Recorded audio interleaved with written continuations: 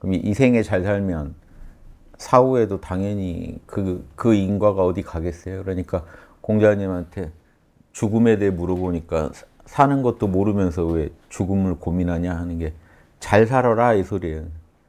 지금 잘 살아라. 연구해가지고 잘 살아라.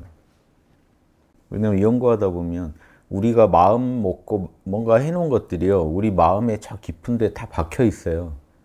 필름처럼. 그것 때문에 인과론이 나오는 거예요. 안 죽어봤지만 우리가 이게 이어질 거라고 보는 이유가 우리 마음 안에 그 우리가 그 업의 정자라고 하는 업의 필름들이요. 내가 한 짓들이 다 거기에 저장돼 있는 게 느껴지거든요. 그게 이제 계속 나오거든요. 우리 삶 속에서.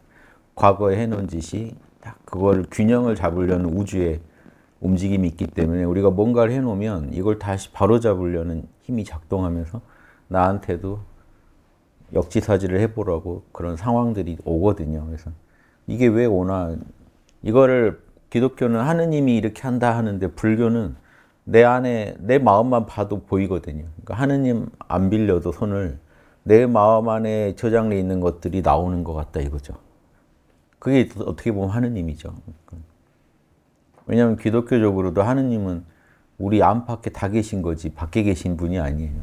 우리 안에서도 우리 살아 숨쉬기 만들고 온 우주 굴리고 이게 한 의식이니까 불교에서는 내 안에 있는 의식을 가지고 먼저 얘기를 하는 거고 기독교는 밖에 있는 의식을 먼저 얘기를 하는 것 뿐이지 들어가 보면 안팎이 있을 수가 없죠. 하느님은 이 우주를 통으로 알아차리고 굴리지 이 우주에 저쪽에 있고 내 밖에 있고 하면 이미 하느님이 아니에요. 무소부재가 아니기 때문에. 없는 것이 없어야 되고요. 관할하지 못하는 게 없어야 돼요. 그러면 인간일 수가 없죠. 그냥 슈퍼 슈퍼 AI라고 생각하시면 돼요.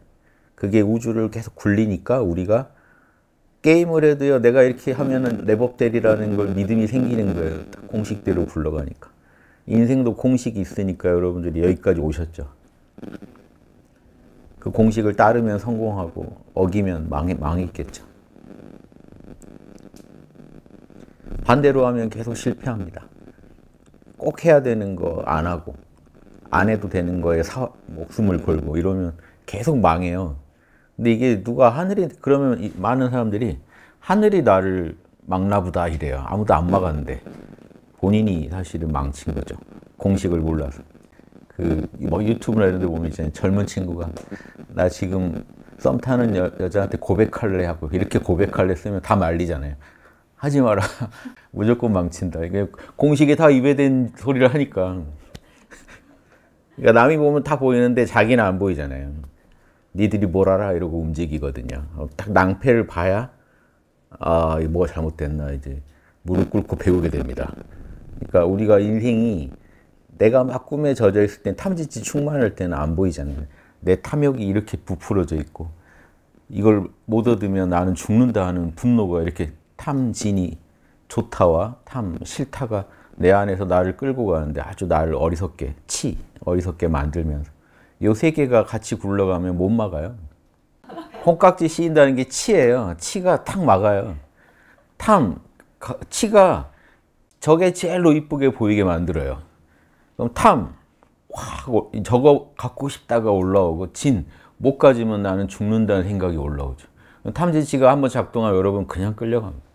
저항 못해요. 그래서 그것도 운명이라는 거예요. 딱 뭔가 하나가 우리를 끌고 갈 때 운명이 있으니까 그런 일이 일어나지 그렇게 운명 정도가 아니면 그렇게 세게 우리를 끌고 가진 않거든요. 끌고 가다가 정신 차리고 그래서 이렇게 어렵게 탐진치를 받아가지고 사니까 중생들이 워낙 힘들게 사니까 옛날에 철인들, 현인들이 나와가지고 도인들이 나와서 이렇게 인생 사는 법, 인생 게임 공략법 해서 해놓은 거죠. 이런 짓은 하지 마라. 이렇게 살아라. 인과가 있다, 분명히. 그래서 모든 성인들 공통 설법입니다. 인과가 있다는 건. 전 세계 어디나. 부처님만 하신 얘기 아니에요. 어디나 기독교도 뿌린 대로 거두리라. 동양엔요, 그 이런 뭐죠? 서경이니까 은나라 때, 3000년 전 얘기죠. 거기에도 써 있습니다. 인과 뿌린 대로 거둔다는 게 하늘은 반드시 뿌린 대로 거두게 해준다. 그, 런 거를 그러니까 죽은 뒤는 실험 못 해보니까 살아서 실험을 지금 해보시라는 거죠. 공식이 맞나? 이렇게 하면 확실히 랩업 되나? 이렇게 안 하면 반드시 내가 나락에 떨어지나?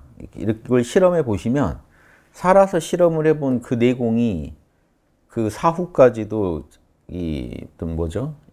확신이 들게 해주죠. 아, 내가 죽어도 내가 이렇게 쌓아놓은 것들은 어디 안 가겠구나. 죽는다고 아이템 다 날아가고 이러는 거 아니구나.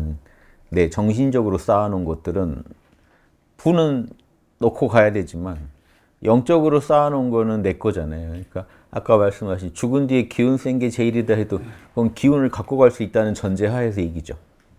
제일 확실한 거 뭐예요? 내 영, 영혼이죠. 영혼을 지혜롭게 해놓는 게 제일 좋습니다. 죽는다면 영혼이 갈 거 아니에요, 우리가. 상식적으로. 영혼이 죽었을 때 저승 가서 힘을 쓰려면 지혜로워야지. 갔는데 염라대왕 앞에 가도 지혜로운 놈이 살아남지 않, 않겠어요? 어리석은 사람은 뭐, 뭐 대답도 잘 못할 거예요. 눈치 없어가지고. 그런데 지혜로운 사람은 딱 거기서도 올바른 판단을 할 거 아니에요. 자명한 판단. 그게 제일 중요합니다. 그걸 지금 연습하세요. 그래서 하늘이 지금 지옥 안 가셔도 살았을 때 지옥을 맛보게 계속 지옥고가 열리죠. 괴로워서 죽겠는 상황이 계속 되시면 지금 육도 중에 지옥에 계신 거예요. 뭐 살짝 꼬이면 지옥문이 확 열립니다. 지옥 체험해 보라고요. 그때 정신 차리실 수 있나 해보세요. 보통 그렇게 되면 정신이 멘붕이 와가지고 붕괴돼요. 무너져요. 그때 안 무너지는 연습을 계속 하셔야 돼요.